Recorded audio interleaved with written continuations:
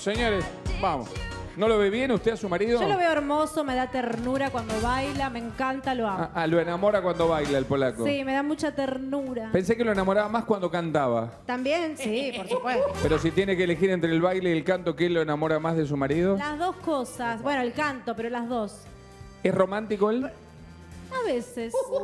Más o- Hoy cumplimos dos años, Marcelo. No, por vaya a darle un beso. Vaya, vaya a darle un beso, por favor. Do- Música, por favor. Música. Y un lento, un lento. Bajemos las luces, que baile un lento con su mujer. Yo le tengo el micrófono, por favor, para que no, no, no, por favor. No, no, no, eh, perdón, ¿le puedo pedir algo? No se haga el hot. eh, ¿Qué?